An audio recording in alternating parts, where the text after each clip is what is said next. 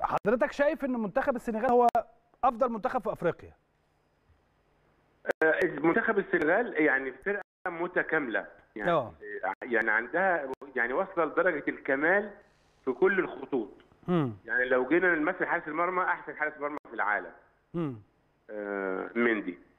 الباكين واحد الاثنين بيلعبوا في بايرن ميونخ والسنترالين واحد بيلعب في نابولي وواحد بيلعب في تركيا تقريبا. آه. ثلاثة بتاع نص الملعب ثلاثة جامدين جدا. يعني ثلاثة من من من أجمد الناس اللي بتلعب في الدوريات الأوروبية والفروت نفس الحكاية. مش كده وبس. والاحتياطي آه، كلهم خبرات كبيرة جدا وكلهم في أندية كبيرة. جدا ده ما يديناش يعني إن إحنا نبقى آه، في حالة زي ما سامعك في الإنترو آه، ما يديناش. إحنا برضو عندنا فرقة كبيرة جدا. بالظبط. وعندنا لعيبة كبيرة جدا. بالظبط. وعندنا وعندنا كمان استاد القاهرة اللي هو مرعب لكل المنافسين. يمكن طبعا أنا سمعت الكابتن طارق العشري وهو بيقول الكلام اللي انت بتقوله ده.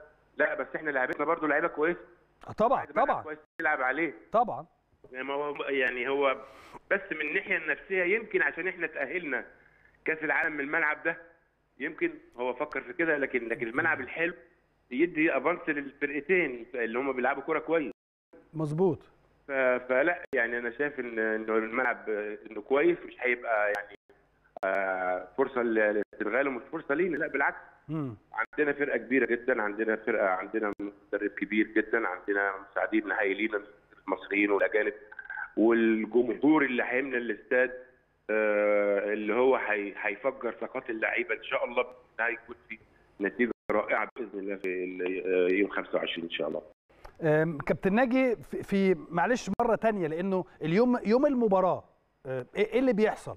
يعني يوم الجمعة ده كيف يفكر الجهاز الفني وكيف يفكر اللاعبين؟ إيه، أه، عديت انت بالأمر ده فعشان كده عايز أسأل حضرتك تقول للجمهور أه، اليوم ده بيبقى عامل إزاي للعيبة وللجهاز الفني؟ ال- اليوم ده المباراة هتبقى مثلا الساعة 6 أو 8 آه. 8 مثلا. نعم. هيبقى في إفطار إجباري الساعة 10 الماتش 9:30 بالليل يعني آه. 9 ونص هيبقى في إفطار إجباري الساعة أوكي. 10 تمام. إفطار. وبعدين آه، اللعيبة ترتاح في غرفها شوية وبعدين تنزل على آه، آه، ميعاد الغداء هيبقى متأخر شوية على 3 3 ونص 4 ممكن قبل المباراة بثلاث أربع ساعات. أيوه. وبعدين المحاضرة بقى اللي هي بيبقى فيها التحليل الفني امم وشغل المحللين الفنيين والفيديو امم اللي بي بي بي بي بتخلي اللعيب يخش المباراة كأنه شافها فيلم سينما قبل كده. آه. آه، وال- والواجبات اللي حت... اللي هياخدها كل لاعب في مركزه إذا كانت في واجبات فردية أو واجبات جماعية. امم بداية من حارس المرمى يعني مثلا هنبني اللعب من تحت هنبني اللعب من على أطراف الملعب هنبني اللعب كل ده أدوار بيخش فيها حارس المرمى. نعم. بعد كده التكليفات بقى اللي هي بتاعة ال... ال- الكرات الثابتة والكرات الثابتة. في الملعب هناك آه. كل الحاجات الخاصة بال... بال... ال- اللي لينا واللي علينا. أيوه. بعد كده انت بتهيئ بعض الناس نفسيا لأمور ممكن تحصل في الملعب. امم يعني مثلا لعيب هيلعب على لعيب خشن. هي- هيخبط فيه. آه، وانت مش عايزه ياخد انذارات أو مش عايزه كذا. فانت بت- بتهديه نفسيا خالص بحيث إنه يستقبل العرض اللي هيجي له ده أثناء المباراة. مثلا ال- ال- ال- ال- ال- التنظيم الدفاعي والتنظيم الهجومي والارتداد. هنلعب مثلا نص ملعب هنلعب من من بعد الدايرة ب 10 ياردة هنلعب كذا. كل الأمور الخاصة الفنية اللي بالمباراة بتتشرح بإسهاب جدا. امم قبل في المحاضرة والمحاضرة الفيديو وممكن يبقى في فيديو للحراس لو لو لو المحلل الفني عامل الكور الثابتة ضربات الجزاء. إز- إزاي بيلعبوها يعني المنتخب السنغالي آه، طبعا نعم طبعا, طبعا. أيوه والتكليفات بقى اللي هي الفردية مين هيمسك مين ومين مين هيبقى في القريبة مين هيبقى في الزون أو مين هيبقى في الناس اللي ماسكة ومين هيبقى في التغطيه العكسية ومين آه. يعني كل الأمور الخاصة آه، الفنية بالمباراة. بعد كده طبعا آه، يمكن أنت حضرت طبعا وبعض المدربين اللي هم ليهم آه، بعض ال- آه، الحاجات اللي بيعملوها آه، يخرجك بقى عن الضغط ال- النفسي والعصبي بتاع المباراة شوية تهريج شوية ضحك. أه. أنت فاكر طبعا مستر طبعا كان طبعا. كان بيعمل إيه وي وي وي بيعمل لك أراجوز قدامك آه، عشان هزار يعني مش ولو. لا حد يعني over nerve أكتر شوية بي بياخدوا بقى وي- وي- وي- ويعني يعني يفكوا زي ما إحنا بنقول مظبوط. آه، بالبلدي. كل دي الحاجات دي بتحصل اليوم اللي قبل المباراة. آه. وبتحصل خلال الأسبوع كله بس يعني مثلا الإعداد النفسي دلوقتي آه. ما بقاش زي زمان ما بقاش direct. بقى ممكن تقول كلمتين في أول الأسبوع كلمتين في نص الأسبوع كلمتين في آخر الأسبوع تعمل جملة. الجملة دي بقى ليها تأثير مم. بالايجاب على اللي أنت عايزه أو اللي الحاجة اللي أنت عايزها. نعم. فدلوقتي بقى طبعا كرة القدم حصل فيها تطور كبير وحصل فيها انه إنه المدرب شغله مش الساعتين بتوع الملعب بس أو الساعتين بتوع الصبح أو الساعتين بتوع بعد الظهر. أيوه. ودمتم لا الشغل بقى على مدار اليوم كامل من حيث التغذية من. حيث التدليك يعني نوع التدليك اللي قبل اللي هيبقى في الثلاث أيام دول إيه؟ مم. عجن ولا نقر ولا مسح ولا التدليك ده بقى عنصر مهم جدا ونوع التدليك نفسه العضلة محتاجة إيه من أنواع التدليك في, في, ال- في اليومين الثلاثة دول مم. ممكن ما تكونش محتاجة عجن لأن هي مجهدة مم. عايزة نقر أو مسح. آه، ف- آه، التغذية إمتى ياخد آه، بروتين إمتى ياخد آه، كربوهيدرات إمتى ياخد آه، آه، نشويات إمتى ياخد vitamins إمتى ياخد ال- الحاجات دي كلها. هي اللي بتخلي ال- الاستشفاء آه، يعني آه،. في كل العناصر صح اللي هي تخدم اللاعب في إن هو يكون قبل المباراة على أهبة الاستعداد تمام آه الموضوع يعني مش بسيط يعني كلك لقمتين وشوية بطاطس لا، لا. وبتاع و- آه شوية بطاطس وشويات وبتاع وخلاص آه الموضوع طبعا بي... يعني مثلا في التغذية في تفجير الطاقة. آه. إن أنت تدي كذا وتدي كذا عشان ساعة الماتش يطلع كذا. آه. فمعادله يعني يد اتنين كب ألف أربعة زي زمان في الكيمياء فاهم؟ طيب. بتوع التغذية بقى ال nutrition دول بقى مهمين جدا مهمين جدا للاعب. طبعا. طب يو- يوم الجمعة يا كابتن ال... ال...